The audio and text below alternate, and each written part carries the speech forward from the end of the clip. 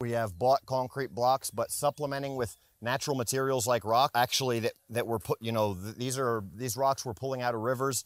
This gravel right here that I'm walking on, this all used to be just like mud and dirt. You can see, you can literally watch the first video of this shop build where I, with a bulldozer, just, this was a mountain. This leveled the top of this mountain and it was all mud and dirt. And then we just have been pulling gravel out of the mountain here where there's gravel patches, right? Veins of gravel running through, loading it in wheelbarrows and just dumping it here on top, which now we've got a gravel area. I'm reutilizing all of the metal and stuff over here that's basically scrap material.